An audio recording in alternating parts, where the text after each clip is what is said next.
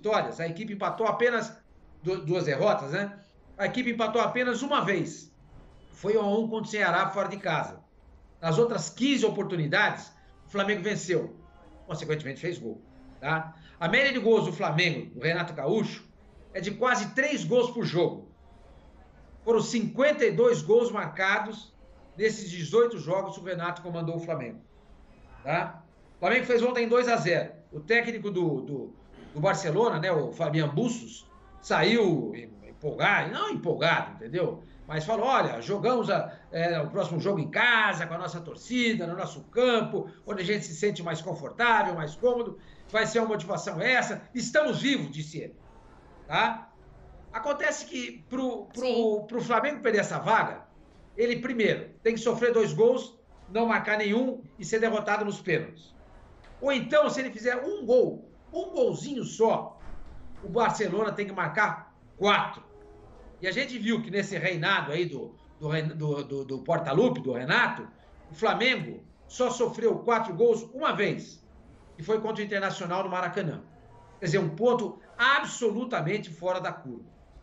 É, o Flamengo, ele tem é, 26 gols marcados fora de casa. 26 gols em 9 partidas. O que também dá uma média de quase 3 gols por jogo. Então eu acho muito difícil que o Flamengo venha perder essa vaga. Muito difícil, muito difícil. Porque o Flamengo não é um time de não fazer gol. E dificilmente é, o Flamengo é, toma tantos gols assim. Então, gente, por mais que esse Barcelona jogue, por mais que o jogo seja em casa, por mais que tenha torcida, o Flamengo hoje é o melhor time do nosso continente. De um polo a outro, hein? Não é só América Latina, não, ou então América do Sul. É de um polo a outro. Não tem melhor ninguém melhor que o Flamengo. O único time que pode encarar o Flamengo é o Atlético Mineiro. Não consigo ver mais ninguém. Boa, Sormani. É, você lembrou bem aí, né, essa questão do jogo estar aberto. E de fato ele está, porque 2 a 0 embora seja uma vantagem enorme, principalmente se a gente comparar com o que aconteceu na outra semifinal, ela não define, Facincani, é, a, a vaga como uma goleada definiria. Talvez isso passe um pouco pela questão ali do Flamengo ter ficado com um a mais durante boa parte do jogo e não ter conseguido construir naquele momento um placar mais elástico. Mas olha, eu tô olhando aqui é, as mensagens no Twitter e a torcida eu fiz uma brincadeira no meu Twitter, eu falei assim: define em uma palavra o jogo de ontem para a torcida do Flamengo. E muita gente fala assim: é Libertadores. Não vai ter goleada toda hora em Libertadores. Ninguém chega numa final de Libertadores, numa semifinal de Libertadores à toa, Facincante. Você vê diferente? Eu vejo, Dani. Um beijão para você. Fábio Surmani. Um abração pro Pedrão. Tô com saudade, irmão. Volte logo. Facinca, só, só pra te avisar, hein? Facinca, só ah. pra te avisar antes de você começar. Antes aqui do jogo, a gente dava uma caminhada aqui na frente do hotel. Ah. Tinha um ah. pessoal aqui querendo saber de você. De você. Hum. Falaram que vão prometer uma homenagem até o final do programa. Vamos aguardar, mas ah, vai é? daí. Não, Eu não. vou mostrar aqui, Medo. vamos lá. Ah, esperamos. Que medo. Esperamos, né? Tá tudo em casa, fica tranquilo. Não temos qualquer tipo de receio. Vamos lá, Pedrão. Abração para você. Desde que a homenagem também inclua o Zé Elias, porque, coitado, ele é um pouco carente, né? Mas enfim, pra gente abraçar eu vou pedir, eu vou pedir, eu vou pedir aqui. Eu? Quinta-feira, claro, também. Eu não tenho nada a ver com isso não, rapaz. Não tenho nada a ver com isso não. Quem é, tá carente é você que tá me chamando pra, pra homenagem. É, pronto. Ao contrário, começou, ao contrário. Entendeu? Começou. É, não, não, dá, né, Pedrão? Não dá, não dá pra trazer ele. Fã de esporte é o seguinte, Dani, por que, que eu penso diferente? Eu vi um jogo do Flamengo, apesar de, em alguns momentos, a desatenção pelo resultado construído, mas muito tranquilo. Eu vi um time extremamente confiante, eu vi atuações individuais de altíssimo nível e eu vi um resultado que, se tudo bem, é, no papel ele poderia ter sido maior, mas na atitude ele fez com que, para mim, a vaga já está decidida em favor do Flamengo. E não tô aqui fazendo média com ninguém, que vocês me conhecem, não preciso Peraí, então você concordou com, com o torcedor que respondeu no Twitter? Eu simplesmente, Dani, tô dizendo que o Flamengo, para mim, se classificou ontem mesmo com o 2 a 0 e mesmo com o placar que, claro, pode ser revertido pelo Barcelona, mas não acredito. Eu vejo um Flamengo muito seguro, um time que, de novo, se mostrou muito decisivo, que não pode só ratear nessas coisas de achar que com 2 a 0 tá bom, aí dá aquela desligada, aquela sensação de dever praticamente cumprido, tem que é, ter um pouquinho mais de ambição em alguns momentos, é evitar o tal do salto alto, que eu acho que é bom para todo mundo, porque o time é muito bom, ele tem às vezes esse excesso de confiança que é absolutamente normal, mas não pode ter, é verdade. Mas vi um jogo sublime de várias partes e de atletas individualmente falando, que já já a gente destrincha. Boa. É, e aí tem uma questão que é interessante para dar boa tarde para o Zé também, Zé, que é a seguinte, né? A gente não pode esquecer, a gente não pode não levar em conta que o Flamengo ontem não tinha o Diego, não tinha o Felipe Luiz, não tinha o Arrascaeta e tinha uma estreia, tinha o Davi Luiz chegando ali. Então, era um Flamengo modificado ao que está habituado a entrar em campo e ainda assim constrói esse 2 a 0 Você está mais pro lado do construir o 2 a 0 vamos lá, que é vantagem para a volta, ou para olhar de repente alguma coisa tática ali que te decepcionou, Zé? Boa tarde, Dani. Boa tarde, Facinca, seu Sormani, Pedro, a, a todos que estão nos assistindo. É, Dani, eu tô naquela. Abel, Cuca, prestem atenção no time do Flamengo, que a final será contra o Flamengo. Eu acho bem difícil, bem difícil o Flamengo perder. Né? Não pela falta de qualidade da equipe do, do, do Barcelona, porque ontem nós vimos no, no, começo né, do primeiro tempo e no começo do segundo tempo uma equipe que sabe agredir, que sabe criar dificuldades né? E o Flamengo teve uma certa dificuldade para se ajustar. Depois que se ajustou, pegou o timing né, da, da marcação, posicionamento, o time do Flamengo foi o Flamengo que nós conhecemos. Né? Mas é, eu, eu acho já que eu, eu acho que o Flamengo tem uma vantagem enorme, muito porque o Flamengo não passa um jogo sem fazer gols.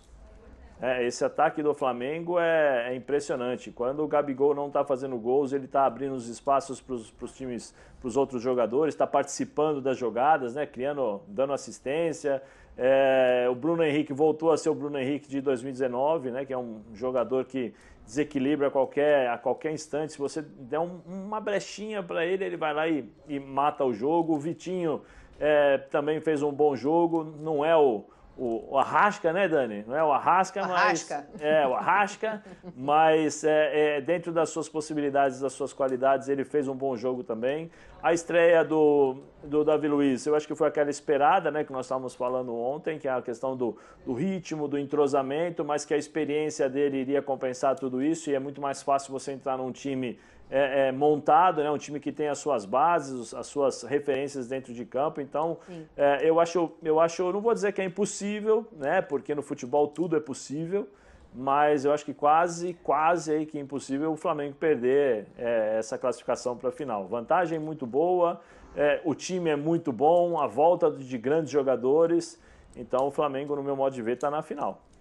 Boa, Zé. Eu tô achando maravilhoso aqui o pessoal na hashtag BB Debate, todo mundo mandando o, o Dragon Ball Zzinho fazendo a mãozinha. Eu tô ficando é velha mesmo. Olha aqui, será que o Renato entendeu a referência? Vamos ouvir o Renato, claro que ele não fala disso, mas ele fala da partida, fala de como ele viu essa construção dos primeiros 90 de 180 minutos no caminho da final da Libertadores. Bota o Renato aí. Eles tiveram algumas oportunidades no início do jogo, nós também tivemos, conseguimos fazer os dois gols no primeiro tempo, mesmo com um homem a menos, é, eles souberam sofrer a pressão no segundo tempo, a gente tentou de todas as formas procurar fazer mais um gol, tivemos as oportunidades, mas infelizmente não conseguimos. Mas está de bom tamanho, é que eu falei, eles não chegaram por, por convite, chegaram por mérito numa semifinal, uma semifinal de Libertadores é sempre muito difícil, e 2 a 0 é uma vantagem muito grande. Muita gente acha que não, mas é uma vantagem boa para a segunda partida. Até porque, para quem não sabe, que existe gol qualificado na Libertadores. Boa, tá aí a serenidade do Renato, ó, Facincani, falando sobre esse 2 a 0 É óbvio que é uma vantagem, é inegável, né? Não tem como dizer que 2 a 0 construído em casa não é uma vantagem para o jogo de volta. Agora, Facinca, eu quero entrar num assunto aqui com você, e aí eu quero ouvir todo mundo. É, em relação a essa coisa que ele fala de, de saber sofrer, né? O Barcelona vem, faz um abafa ali no começo do jogo, depois acaba murchando, aí fica com a menos, a situação fica mais difícil ainda. É, agora, esse, esse saber sofrer, entre aspas, ele passa um pouco pelo lado do Flamengo também, no seguinte sentido, é de saber defender. Eu vou, vou trocar e vou colocar dessa maneira. Porque a gente está muito acostumado a ver o Flamengo construindo para frente, jogando com a bola. É, e ontem talvez tenha sido um dia que deu para ver, e aí passa também pela estreia do Davi Luiz, quero te ouvir sobre isso, que o Flamengo soube é, se defender quando foi ah, ah, atacado. Você é, acha que isso passa por uma melhora da defesa, pela estreia do Davi? O, Dani, o, Diego, Daniel, o Diego Alves ontem foi gigante brilhante nas defesas que fez também. Quero ouvir vocês sobre isso aí para a gente começar. Mas o Barcelona, ele foi para o chamado tudo ou nada. Então era natural que em algum momento ele pudesse atacar o Flamengo, conseguir uma finalização, conseguir, claro, furar o bloqueio. Ninguém vai jogar 100% intenso, defensivo, compactado, é, segurando. Não existe isso no futebol. Ninguém é perfeito. Em algum momento você vai sofrer um tipo de finalização como foi ontem o Flamengo. Agora, eu vi uma atuação muito tranquila do setor defensivo, da dupla, né? Tanto o Rodrigo Caio como o Davi Luiz. Davi Luiz foi gigante ontem em posicionamento, jogou na boa, é, sem sustos, é, até conseguiu no segundo tempo naquele lance que ele faz o bloqueio em relação à finalização, que seria o rebote, né? E um hipotético gol do Barcelona. É uma cobertura precisa em relação a, ao jogador da equipe do Equador. É, em muitos momentos ele iniciando a saída de bola, né, se soltando um pouquinho para dar essa leveza e, e para desprender um pouquinho, né, a defesa do Flamengo também é, dessa fase de que em alguns momentos faltava para ela um pouquinho mais de intuição criativa, é, até para dar mobilidade aos dois laterais. Acredito que mais o problema do Flamengo ontem tenha sido as laterais, né? O, tanto o Isla como o René, eu vejo o Mateuzinho e na volta o Felipe Luiz a dupla ideal, mas ainda assim o Flamengo com uma ótima construção defensiva e que é, explica-se o que aconteceu ontem. Um Barcelona que ele teve atitude. Tem que elogiar a atitude do Barcelona, que veio para tentar fazer um gol, que veio para tentar é, diminuir qualquer tipo de resultado que pudesse já é, entregar os pontos. Para mim, o 2 a 0 decide em favor do Flamengo, mas ainda assim é um placar que, se a gente coloca na teoria, ele é reversível, claro, pode acontecer, mas para mim só se uma tragédia acontecer lá em Guayaquil. Mas ele foi corajoso e essa coragem do Barcelona premiou em alguns momentos, mesmo com um jogador a menos, assim, tentar furar um Flamengo que já tinha um 2 a 0 ali encaminhado e achava que estava tudo bem. Para mim foi mais esse problema, Pedro.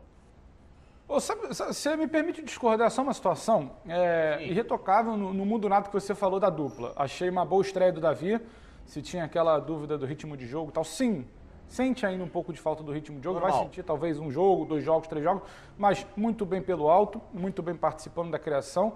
É bom lembrar que a jogada do primeiro gol, que é do Gabi para o Bruno Henrique cruzando, ela começa com o Davi.